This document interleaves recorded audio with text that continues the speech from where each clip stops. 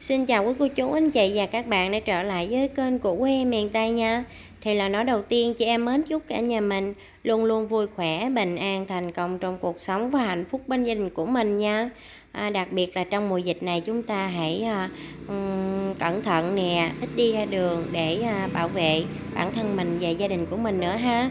Um, Em à, chia sẻ cùng cả nhà cái món bún riêu chay. Um, chỉ còn đậu hũ nhưng mà vẫn có riêu để ăn nè và thêm một ít nấm và chả thì rất là tuyệt vời luôn á cả nhà. Uhm, bún riêu này thì chúng ta ăn kèm với lại um, rau muống bào nè bắp chuối và một ít rau thơm ha. Nếu như quý cô chú anh chị và các bạn đang xem video thấy thích cái món ăn mà em làm thì hãy vào bếp thực hiện cùng em nha. Uhm, nếu như cả nhà thấy thích kênh hãy đăng ký kênh và nhấn chuông và chia sẻ cho mọi người cùng xem để à, nhận được thông báo video mới nhất từ em nha. Còn bây giờ thì không để cả nhà phải chờ lâu chúng ta vào bếp thôi.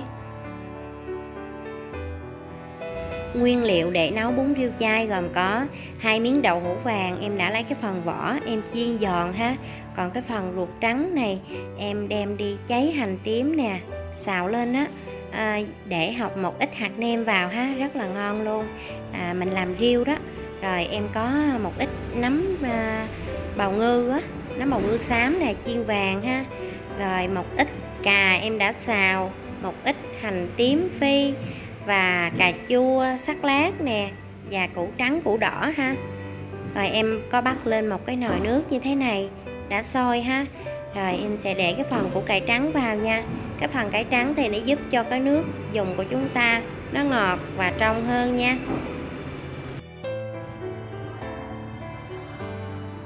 Rồi ở đây á, thì à, em nấu à, chỉ có hai tô thôi đó cả nhà. Tại vì em ăn một mình cho nên là em nấu ít. Cả nhà xem thông cảm ha. Bây giờ em sẽ cho cái phần cải đỏ vào luôn nha.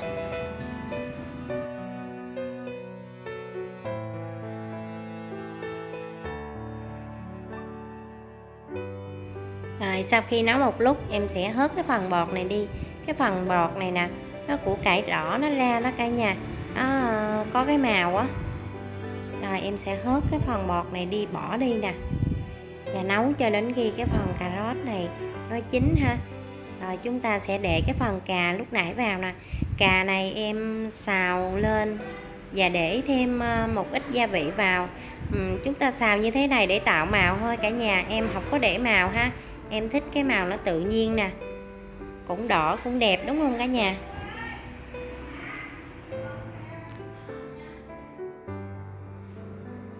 Rồi bây giờ thì em sẽ nêm vào đây ha.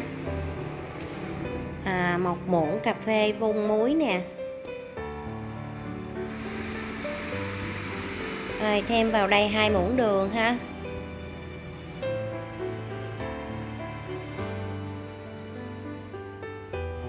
Một phân nửa muỗng cà phê bột ngọt.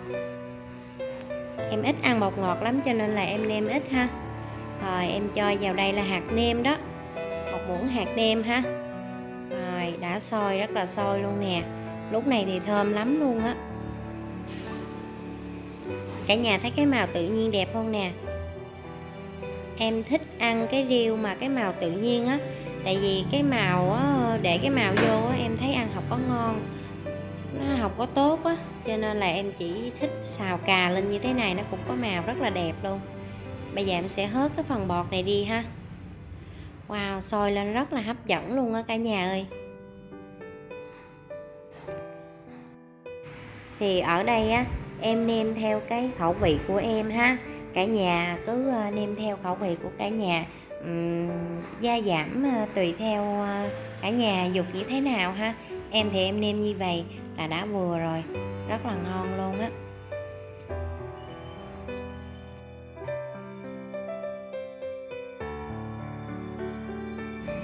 Rồi bây giờ em sẽ cho cái phần cà chua vào đây. Cái cà chua em sắc miếng hồi nãy đó. Em sẽ cho vào ha. Nếu như thấy bọt thì chúng ta cứ hớp bọt nha. Nè cái màu rất là tự nhiên rất là đẹp ha. Thơm lắm luôn cả nhà ơi. Rồi em sẽ cho cái phần nấm chiên vào nè. Cái nấm này á, mình rửa sạch và mình trụng qua nước sôi. Và chúng ta xé nhỏ và chiên giòn như thế này. Khi để vào à, à, canh hoặc là bún riêu như thế này cũng rất là ngon luôn. Nó dai nè nó giòn lại ngọt nữa. Rất là ngon. Rồi đợi cho sôi một chút xíu nữa là chúng ta sẽ à, tắt bếp và đem ra thưởng thức thôi ha. Rồi em cho cái phần tím cháy vào đây luôn nha. Đây là cách nấu của em nha. Em thích như thế này. Và chia sẻ cùng cả nhà ha. Rồi bây giờ em sẽ cho cái phần ngò gai vào đây ha. Rất là thơm luôn á. Rồi bây giờ em sẽ để cái phần hành tím cháy vào đây ha. Đây là cách nấu của em nha cả nhà. Cả nhà thông cảm tại vì em thích ăn như thế này. À, rồi rất là thơm luôn. Bây giờ là cái tánh xấu nó nổi lên rồi đó cả nhà. Rất là đói bụng luôn á. thì ở đây em có chuẩn bị một đĩa rau rau muống bào này bắp chuối bào giá và một ít rau thơm ngò gai ha. Chúng ta sẽ ăn kèm thì rất là ngon luôn.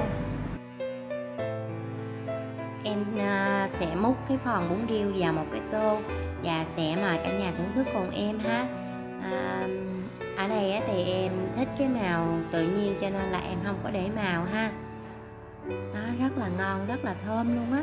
Cái nước lại trong nữa nè rồi sau khi em đã à, chuẩn bị xong và bây giờ bắt đầu thưởng thức thôi. Uhm, cả nhà thấy ngon không nè? Em thêm một ít chả nè. Uhm, rồi có à, riêu mà làm từ đậu hũ đó để đậu hũ chiên giòn nè. Và thêm cái phần nấm lúc nãy em bỏ vào trong cái à, nồi nước dùng của mình á. Rất là ngon ha cả nhà thấy ngon không nè? Hấp dẫn lắm luôn á nha. Không phải là em nấu mà em khen đâu nhưng mà em thấy thật sự rất là ngon thì à, bây giờ á, em mời cả nhà thưởng thức nha. Ngon lắm luôn á. Em à, chân thành cảm ơn quý cô chú anh chị và các bạn đã à, luôn đồng hành cùng em trong thời gian qua. Rất mong được sự ủng hộ của cả nhà mình trong thời gian sắp tới nữa nha.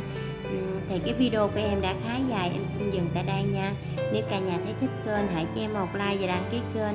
Và nhấn chuông để nhận được thông báo video mới nhất từ em và chia sẻ cho mọi người cùng xem ha. Em chân thành cảm ơn còn bây giờ thì em à, xin chào và hẹn gặp lại cả nhà vào video sau nhé. Vào lúc 19 giờ ngày thứ hai và thứ sáu hàng tuần trên kênh của quê em miền Tây. Còn bây giờ thì xin chào và hẹn gặp lại cả nhà vào video sau nha. Bye bye.